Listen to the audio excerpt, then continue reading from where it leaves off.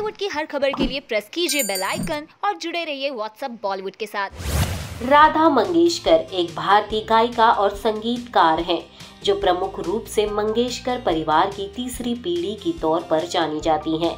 उनके दादा दीनानाथ मंगेशकर एक प्रसिद्ध मराठी थिएटर अभिनेता, नाट्य संगीतकार और हिंदुस्तानी शास्त्रीय गायक थे।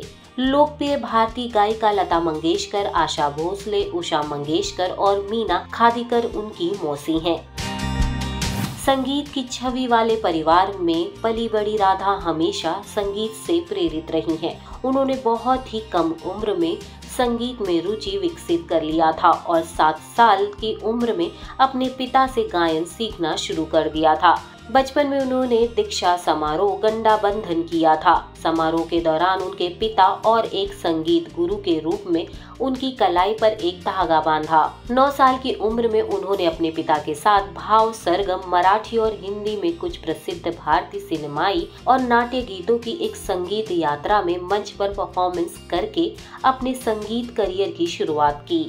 इसके बाद उन्होंने शिव कल्याण राजा, नक्षत्रण चे देने, अक्षय जाने, अभंगा जाने, दिल की नज़र से और दीदी अनिमी जैसे स्टेज शो किए।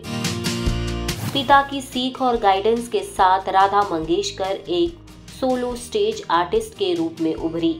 उन्होंने महाराष्ट्र लेकर पूरे देश और विदेश में ट्रैवल कर अपने कॉन्सर्ट किए हैं। राधा एक बात सोचकर आगे बढ़ती हैं कि अपने यूनिक स्टाइल को देखते हुए इंसान को सही चुनाव करना होता है।